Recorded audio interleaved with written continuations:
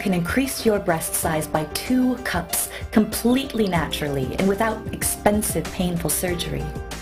Plastic surgeons have been hiding these amazing breast enhancement strategies for years, but today, you can join more than 7,591 women from 69 countries around the world who know these techniques, and they know they work.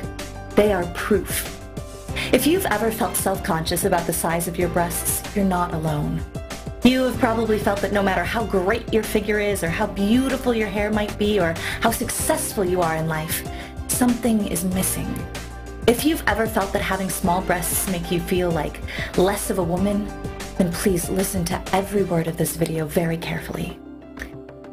My name is Jenny Bolton, and I was once an A cup.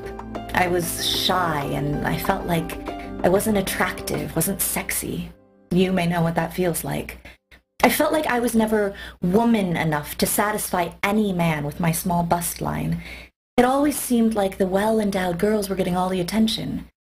After years of suffering the turmoil of watching women with cleavage getting everything they want, I was determined to find a way to grow my breasts. I didn't have many options. I was sure I'd lose the guy I liked to other girls, most of whom were B or C cups. My desperation to grow my breasts turned into an obsession where I'd spend every day and every night thinking about why some women have big breasts and some women have small breasts like you and me. I made myself crazy, sitting up all night reading through piles of books about the human body, all trying to find the cause of why breasts grow and how I could manipulate it. God knows what people at work would have thought of me if they knew what I was up to at night, browsing through countless web pages, reading hundreds of books, and actually interviewing many professionals. The library turned out to be my best friend when I stumbled into five books with proven ancient scientific knowledge on women's beauty. I was hooked, and I read each and every word of those books. It was like I'd found exactly what I needed.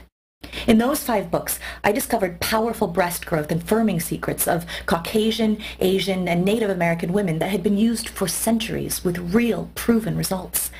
I read and reread those books for weeks.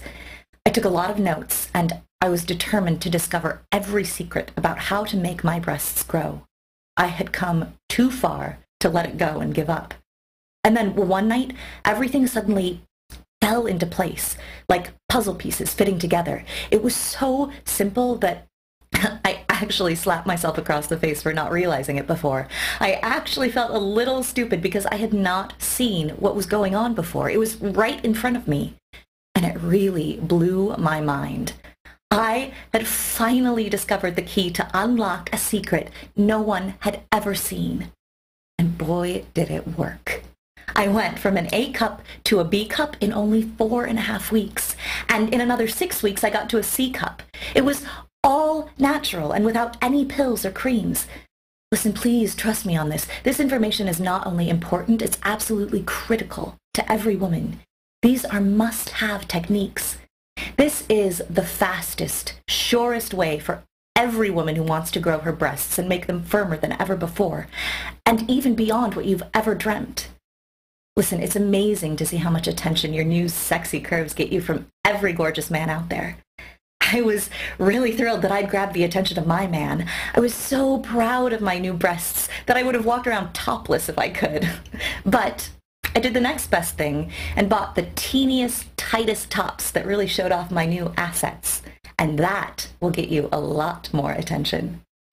Few friends noticed my new curves and asked how I did it and could I help them make their breasts bigger too. I had taken detailed notes and done the research, so it took just a couple of days for me to write it all out for them. I gave them my manuscript and offered to help them out in any way that I could.